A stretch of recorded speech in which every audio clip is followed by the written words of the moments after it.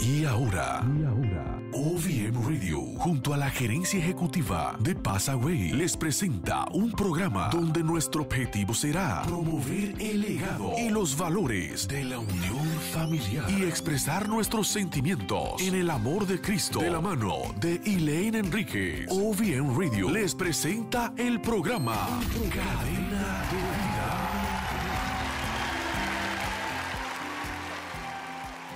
Bienvenidos al programa Cadena de Vida. Hoy tenemos un tema muy interesante que dice la Biblia acerca de los hijos y la descendencia familiar. Pero antes vamos a ir a un mensaje de nuestro patrocinador. Nada hay en el mundo que haga más feliz al ser humano que obedecer la palabra de Dios, que enseña que debemos honrar a nuestros padres, antepasados y familia. Honremos a nuestros seres queridos que ya han partido a la eternidad y celebremos su vida en Passaway ORG. Y ahora vamos a pasar a nuestro invitado de hoy, el pastor Diego Cheli. Bienvenido, pastor. Hola, Elaine. Dios le bendiga. Muy bien, gracias a Dios y recibiéndolos muy bien. Gracias. Tenemos un tema que nos concierna a todos. Es un tema muy importante que es el tema de la familia, de los hijos, de la descendencia familiar. Pastor, ¿qué nos dice la Biblia acerca de los hijos? Muy bien, ante todo, Elaine, muchas gracias por invitarme al programa y dar la oportunidad de compartir estos temas de Dios, ¿verdad? Eh, Dios en su palabra, allí en el Salmo 127, ya nos dice, herencia de Jehová son los hijos es decir, que son un regalo de Dios, es el plan de Dios, la familia, los padres, los hijos, ¿no?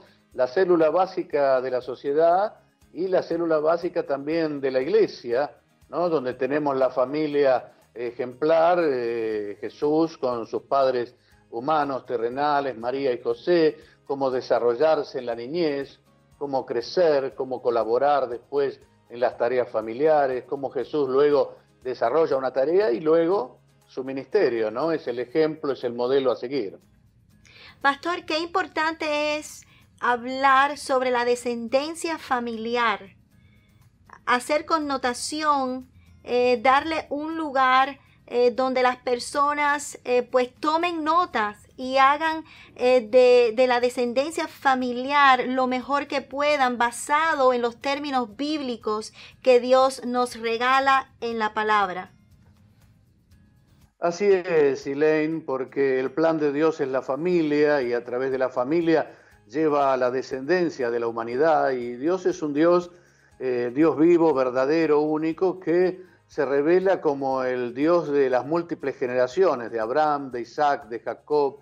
Es el Dios que se muestra y que se revela a cada uno de sus hijos, de sus criaturas, se da a conocer y se va transmitiendo. Eh, no por una herencia humana, sino por el encuentro con Dios que permite que abriéndole nosotros nuestro corazón al Señor Jesús pueda vivir en nosotros y a su vez tener una descendencia que sea bendecida por Dios y de bendición tanto para nuestros descendientes como para los que más comparten la vida con nosotros, la sociedad, nuestra ciudad, nuestro país y tener un mundo eh, de paz, de bien, conforme a lo que el corazón de Dios es, ¿verdad?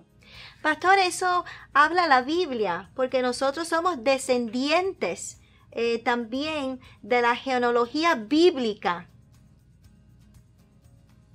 Así es, ¿no? Eh, Dios creó los cielos, la tierra, después creó y formó a Adán y a Eva, y de allí toman, ¿no? Todas las generaciones la ascendencia y somos los descendientes de estos primeros eh, seres humanos, eh, aquellas criaturas que estuvieron en el huerto del Edén, que eh, fueron desarrollando la humanidad e inclusive hoy la ciencia reconoce que todo ser humano desciende de una sola mujer por el ADN que ha sido estudiado a través del genoma humano, que es Eva, que nos lo relata la Biblia en Génesis.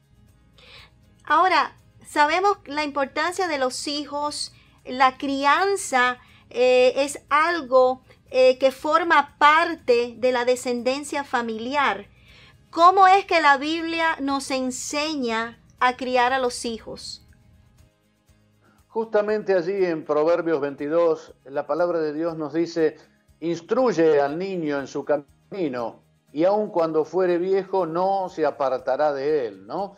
Los padres debemos eh, desarrollar enseñanza, exhortación, aliento, ánimo a nuestros hijos, ¿verdad? Educarlos, formarlos para la vida que le va a tocar desarrollarse. Nuestra responsabilidad como padres, tanto los padres humanos, ¿no? La genealogía sanguínea, como aquellos que nos toca ser padres espirituales de otras personas.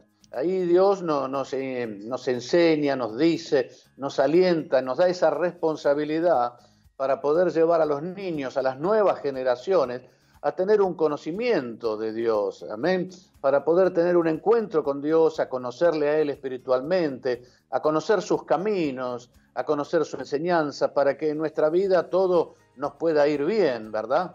Pastor, estamos viviendo en unos tiempos donde los padres tenemos que tener mucho cuidado en la crianza de nuestros hijos. No es como en los tiempos anteriores, antepasados, que nuestros padres eran un poco más agresivos, eh, daban golpe, gritaban, eh, pues muchas de las crianzas eh, nuestras de esos tiempos pasados, hoy en día, por la mayor cantidad de información que recibimos y de enseñanzas, pues se ha mejorado esa forma de crianza.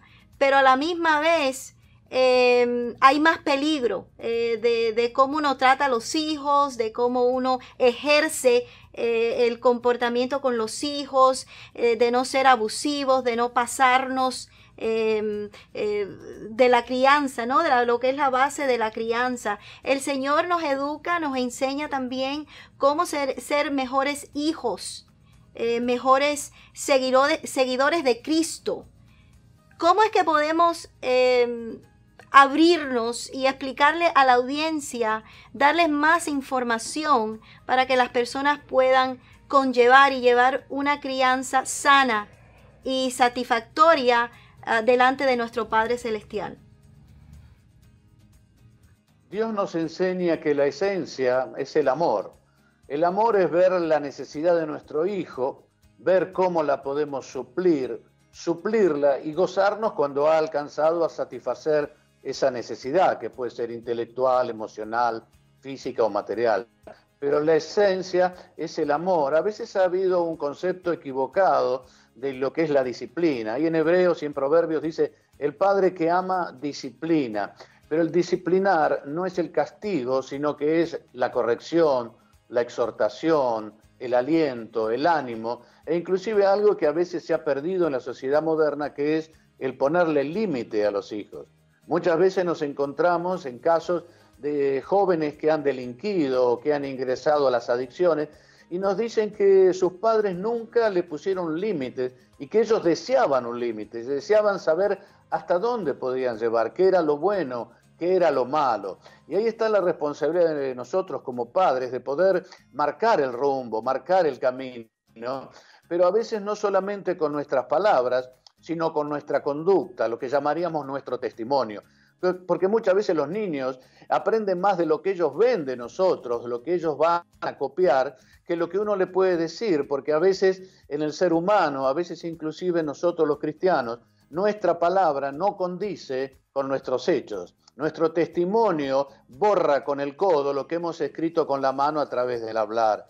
Nosotros tenemos que ser padres responsables que realmente lo que predicamos lo vivamos, para que nuestros hijos puedan tener el rumbo correcto, para que puedan el día de mañana recordar lo que le enseñamos, pero también lo que vivimos, y tomar ese ejemplo y ponerlo en la práctica para alcanzar los buenos resultados.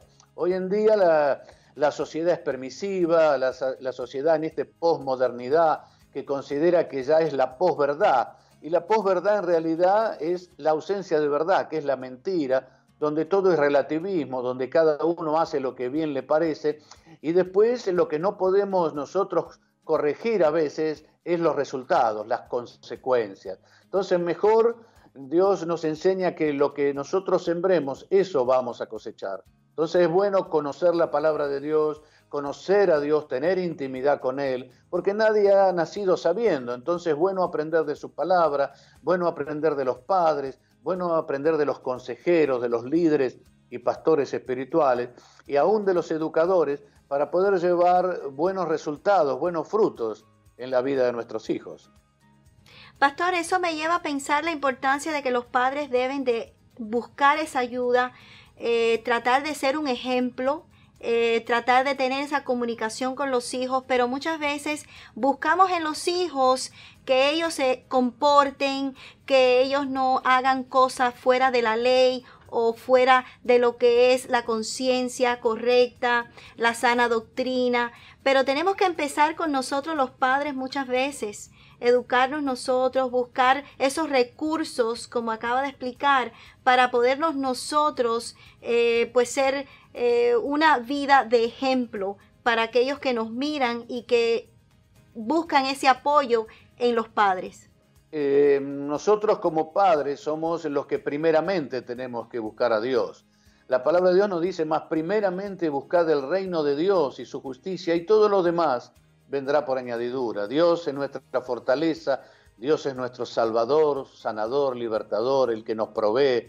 Él dice en el libro del profeta Isaías, el que nos enseña provechosamente. Primero nosotros como padres debemos aprender y después transmitir a nuestros hijos. Allí en el Salmo 34 dice, venid hijos, oídme, el temor del Señor os enseñaré. Es una enseñanza, el temor de Dios. A veces se entendía mal el temor no es un temor de terror, sino que es un respeto reverente, que nuestros hijos deben tener, ver que nosotros lo tenemos hacia nuestro Padre Celestial y ellos aprender a tener su relación personal con Dios. Porque nacer en un hogar cristiano, eso no lo hace cristiano a uno, sino que el encuentro con Dios, el realmente convertirse al Señor abriéndole nuestro corazón es lo que permitirá que Cristo nos enseñe en forma personal, ya desde niños, por eso es bueno la oración familiar, el compartir la palabra de Dios en familia, aún el culto familiar, el llevar los niños a la iglesia, al culto, a la escuelita dominical. Son todos elementos que nos permiten ir sembrando en el niño cosas que traerán muy buenos frutos más adelante. Dice la palabra que aún instruyéndolo al niño de pequeño, cuando seré viejo no se apartará, ¿no? Es una tarea ya desde niño que puedan conocer al Señor, que puedan ser edificados en la fe, que puedan tener una perspectiva de la vida como Dios quiere. Pastor, pero nunca es tarde.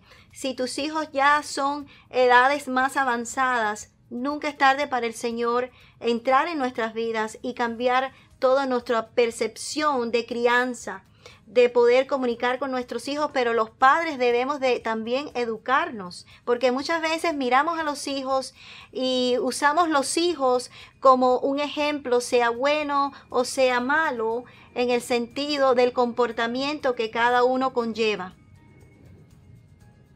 Así es, primero somos nosotros, ¿no? Primero tenemos que nosotros ir capacitándonos, ¿no? En algunos lugares eh, la mayoría de los cristianos hoy en día en algunos lugares somos personas que no hemos nacido en un hogar cristiano, sino que hemos tenido un encuentro con Dios ya de joven o de adulto.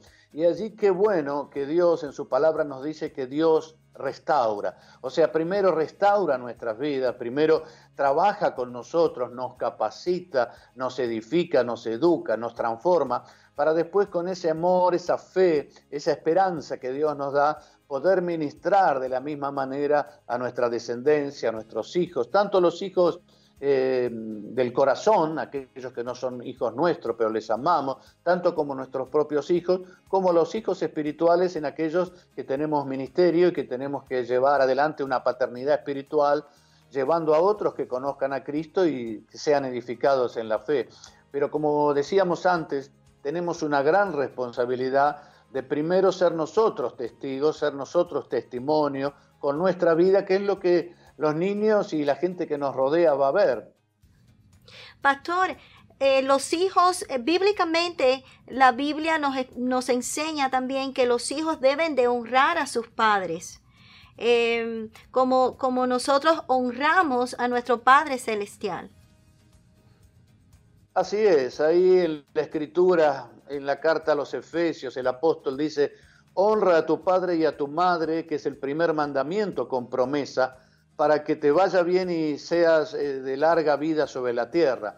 O sea, la honra es respetar, valorar, comprender a nuestros padres, aunque no estemos de acuerdo en algunas cosas, porque una vez un hermano en la iglesia me decía, eh, mi madre me está aconsejando en una forma que no es correcta, pero la palabra dice que debo honrarla. ¿Qué tengo que hacer, pastor? Y yo le decía, respetarla, valorarla, amarla, escuchar sus comentarios, pero decirle, mira mamá, eh, la palabra de Dios dice esto, yo me voy a enfocar en lo que Dios dice, pero yo te amo, te respeto y te honro, te valoro en integridad, en amor, en respeto, en cariño, pero eh, la honra es justamente todo eso, ¿verdad? Que a veces en los niños, en los jóvenes estos días, con la sociedad que vivimos, se ha perdido un poco. Qué bueno que acaba de hacer hincapié en lo que acaba de explicar, en lo que hemos estado desarrollando como diálogo a conversación sobre el tema, porque eh, realmente eh, uno espera de los hijos que nos escuchen y que obedezcan, pero los hijos crecen, se van volviendo adultos y es importante eh, que nosotros honremos a nuestros hijos en ese aspecto de que se han desarrollado, han crecido y también ellos tienen sus propias opiniones, sus propios puntos de vista y cómo ellos quieren conducir sus vidas. ¿Qué hace un padre cuando ve un hijo que sabe que está en peligro, que sabe que está haciendo algo que le va a causar eh, pues eh, algo negativo en el transcurso eh, de lo que está viviendo? ¿Cómo un padre puede ayudar a un hijo y el hijo que no escucha? Así es, la base es acompañar en el crecimiento y en el desarrollo a los niños, a los niños siempre y con amor. Eh, uno tiene que ir sembrando, ¿no? El cuidado con los límites, el cuidado con las palabras, orientarlo espiritualmente, ayudarlo a que sea ordenado, cuidar lo que el niño ve en televisión, en internet, pero luego, después, cuando el niño crece y ya se hace joven, toma sus propias decisiones, siempre ir acompañando con una visión de fe, en oración, en ayuno, buscando lo espiritual para que Dios se ocupe de nuestros hijos, pero eh, marcándole el camino, o sea, respetando sus decisiones cuando ya son mayores de edad, pero sí marcándole, mira, esto te conviene o no te conviene, esto es correcto o es incorrecto, eh, yo te voy a estar siempre esperando, yo siempre te voy a estar ayudando, siempre contá conmigo, o sea, el padre, la madre, siempre dispuestos a ayudar, pero la palabra nos habla claramente, conviértanse ellos a ti y no tú a ellos. ¿En qué cosas? En aquellas cosas que por ahí del mundo toman y aconsejan y no le llevan por buen camino, pero siempre estar dispuesto para ayudarlos a enderezar el camino, siempre con comprensión, siempre no tratando de airarlos, sino de sembrar en amor para que ellos puedan siempre tener un referente de confianza, de fortaleza, de amor, siempre una ayuda y no un adversario, no un enemigo, porque como adversario ya está el diablo, ya está aquel que vino a robar y matar y destruir sueños, planes, vida y salud, sino que los padres somos aquellos que debemos cuidar alentar, proteger y estar siempre disponibles, ¿no? Hay una cosa que hay que tener en cuenta en la niñez que es darles tiempo, pero calidad de tiempo, porque ahí yo estoy junto dándole tiempo, pero leyendo el diario, no compartiendo con él, no escuchándolo, viendo la televisión, estar con la tablet o con la computadora. Estoy con el niño, pero no le estoy dando la calidad del tiempo que el niño necesita, la atención, el cuidado, el prestarle atención. Pastor, vamos a abrir ahora el espacio del programa para que usted nos hable sobre su ministerio, que yo sé que este tema es muy cercano a lo que usted está haciendo hoy en día como ministro y líder de la comunidad a donde usted radica. Sí, Lane, nosotros actualmente trabajamos con un hogar eh, para personas en situación de calle, ayudamos a las personas que están menesterosas, que están en necesidad, que están más vulnerables, con más necesidad, eh, tanto hombres como mujeres, tanto como niños, tanto como jóvenes, tenemos un hogar. Y aparte de eso, trabajamos eh, en dos áreas más. Uno en lo que es el programa Vida, que es la Red Nacional Evangélica de prevención, rehabilitación y capacitación en las adicciones acá en Argentina. Y trabajamos también en un merendero comedor donde eh, accedemos a personas que están en situación de vulnerabilidad, en situación de calle, y se acercan y no solamente le podemos brindar un plato de comida, ropa o un asesoramiento legal o social, sino que tratamos de hacerles un encuentro, llevarlos a un encuentro con la persona de Jesucristo, que es aquel que les va a llevar adelante en la vida. Y en todos estos casos nos encontramos con personas que eh, a veces tienen sus basamentos de familia, de sociedad bien armados y en otras veces encontramos personas que sus cimientos no están totalmente destruidos. Y nosotros nos basamos en aquello que dice Isaías en el capítulo 61, donde el Señor Jesús dice que la unción del Espíritu Santo estaba sobre él en su ministerio terrenal para salvar, sanar y libertar. Y más adelante en el versículo 4 dice que nosotros, pueblo de Dios, estamos para levantar, restaurar y reedificar vidas. ¿Cómo lo hacemos? Levantar es cuando evangelizamos, cuando levantamos gente que está en situación de mayor vulnerabilidad, personas destruidas en su vida personal, emocional, física, espiritual, destruida la familia, que han perdido un trabajo.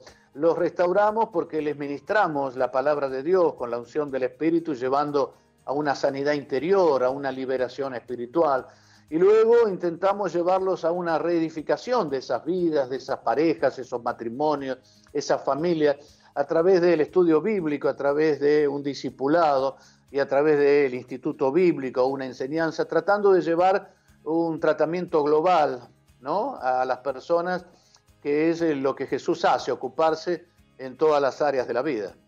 Algunas de estas ah, personas jóvenes han venido de descendencias familiares que han sido afectadas por generaciones? Eh, sí, muchas de ellas vienen de familias destruidas, otras vienen de familias con maldiciones generacionales, que desde la tercera y cuarta generación de sus antecesores han venido o con adicciones o con delito o con problemas de ocultismo y donde eso realmente el único que ha roto esa maldición generacional, esa herencia de maldición, es la persona de Jesucristo que rompe las cadenas, que desata las vidas, que da camino nuevo, que da amor, que derrama de su amor a través del Espíritu Santo en los corazones, trae fe en una vida diferente, en una vida mejor y que trae esperanza y liberación y sanidad a aquellos que provienen de estas familias que, eh, como usted decía, Elaine, eh, generacionalmente han venido con arrastre de malas conductas, de pecado, de errores, de malos consejos, vidas sin Dios, sin fe y sin esperanza, quizás con una religión, pero no con un encuentro con el Dios vivo.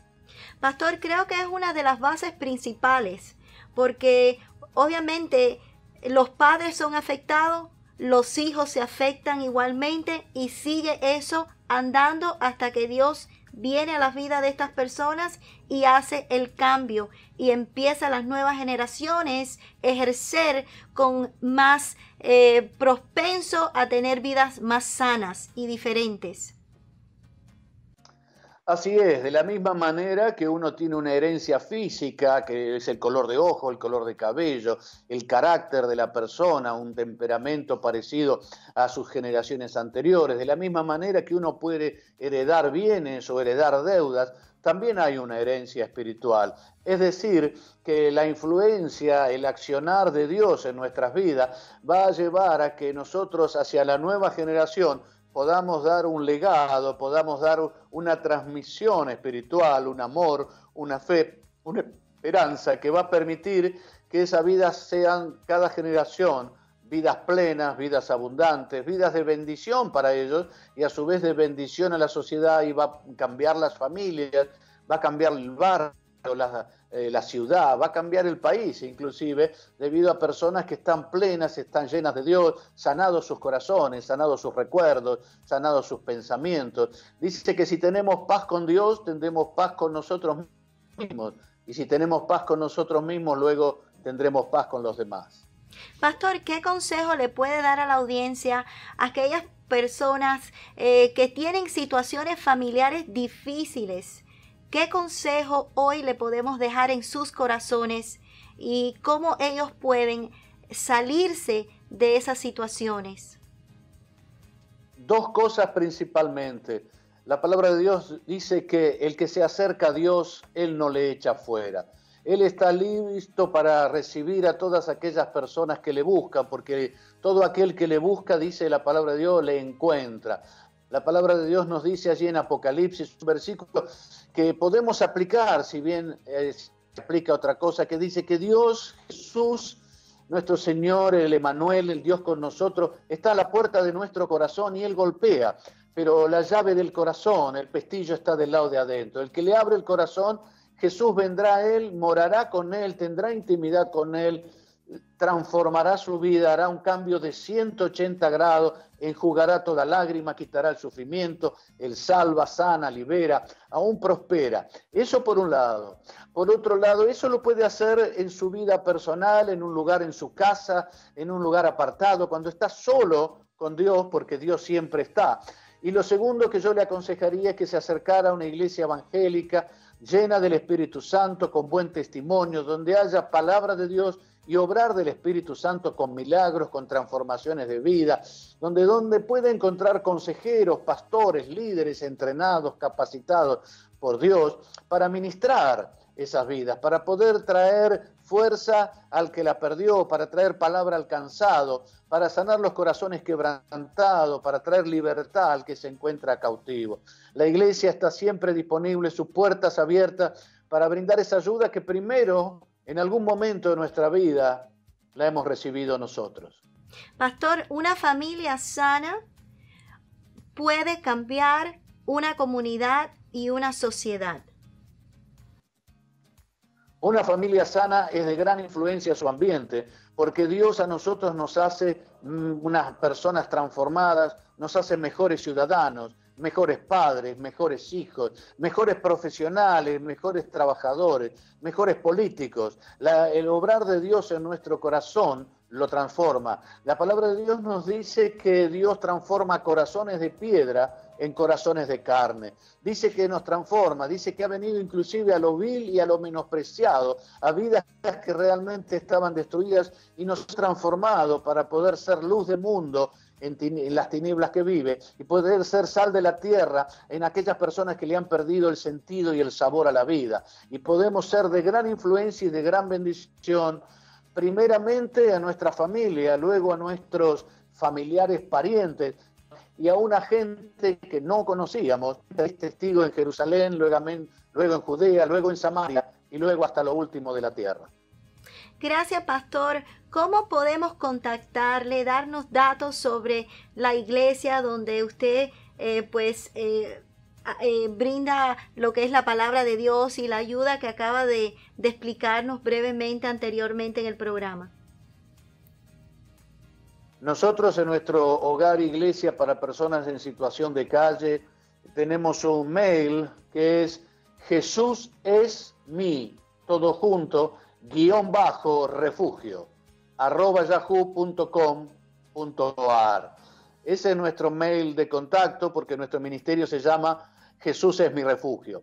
Por el tema de las adicciones, tenemos esta red, Programa Vida, la Red Cristiana Evangélica de Adicciones, que tiene entre 140 y 160 bases en todo el país y nuestro punto de contacto es nuestro sitio web www.programavida.org. Allí se pueden entrar, ver qué es lo que hacemos, cómo nos desarrollamos, enviarnos mail, contactarse telefónicamente. Estamos a disposición de todos. Pastor, algunas palabras de resumen eh, qué bueno que Dios se quiere revelar, se quiere mostrar, se quiere hacer presente en cada uno de nosotros, en cada uno de los seres humanos que somos sus criaturas. Y a partir de allí, del encuentro con Dios, nos quiere tratar como hijos, como hijos amados, como hijos que Él tiene muy en contacto, que no somos un documento nacional de identidad, no somos un número. Para Él somos eh, como ovejas de su prado, para Él somos sus hijos amados, sus amigos. Él quiere entablar con nosotros una relación interpersonal que nos bendice y nos hace un canal de bendición. Dios no está lejano, Dios no está dormido, Dios no está sordo, no, está lejano en la China, ocupado de una tarea, sino que Él está cercano, Él está junto a nosotros, al lado nuestro, pero quiere ingresar si nosotros, Él es un caballero, si le damos permiso, Él quiere ingresar a nuestro corazón, a nuestros sentimientos, a nuestras emociones, a nuestra voluntad, a nuestra mente, quiere darnos una vida de bendición y cada uno que le abre su corazón a Jesús arrepentido de los errores que todos cometemos, Él lo llama pecado, Él está dispuesto a venir a perdonar nuestros pecados en Cristo Jesús y darnos vida abundante si de corazón le hablamos a Él, le abrimos y le rendimos nuestra vida permitiéndole que Él nos guíe, nos oriente, nos enseñe, en realidad que nos dé de su amor. Gracias, pastor. Gracias por estar con nosotros en el programa Cadena de Vida. Le damos gracias a Dios por su vida y pues puedes regresar cuando guste. Gracias, Elaine. Gracias a Dios que nos restaura nuestras vidas y nuestras familias. Y estamos a disposición para lo que ustedes necesiten. Dios los bendiga mucho. Les mandamos un cariño desde Argentina. Gracias, gracias a todas ustedes, nuestra audiencia. Algo que estuve pensando en el tiempo que hemos estado trayendo eh, pues este tópico de conversación es que si queremos un mundo mejor tenemos que empezar en nuestros hogares. Tenemos que empezar a educarnos, a buscar la palabra de Dios, a, ir a las iglesias, los lugares a donde exhortan la palabra, para aprender mucho más de cómo eh, nosotros ser eh, padres mejores para que nuestra descendencia sea una descendencia de frutos y no de maldición. Para poder educar a nuestros hijos mejor, darles el mejor consejo, eh, ofrecerles la mejor guianza y entenderlos. Tenemos que escuchar a nuestros hijos, tomar el tiempo para poderlos entender. Eso es muy importante porque cada persona tiene su carácter, su formación, eh, su estilo de, de proceder. Entonces tenemos que mutuamente entendernos, comprendernos, para que toda la enseñanza, todo el fruto que hemos nosotros eh, puesto en nuestros hijos, pues que eso también se pueda ver en ellos y en la sociedad de las cuales ellos van a ser parte. Así que le doy las gracias a nuestro patrocinador passaway.org. Visiten esa plataforma, visiten para que vean que ahí pueden honrar a sus padres que hoy en día están en la presencia del Señor. Muchísimas gracias y hasta la próxima. Acabas de sintonizar el programa Cadena de Vida, conducido por Elaine Enrique, junto a la gerencia ejecutiva de Passaway. Te invitamos a visitar la web www.passaway.org o llama a los teléfonos 1844 Passaway o al 1855 Passaway o escríbenos al correo info arroba passaway.org. Te invitamos a sintonizarnos el próximo miércoles desde las 7 de la noche, solo aquí, por tu emisora favorita, OVM Radio y OVM TV, tu emisora informativa en línea para una vida cristiana mejor.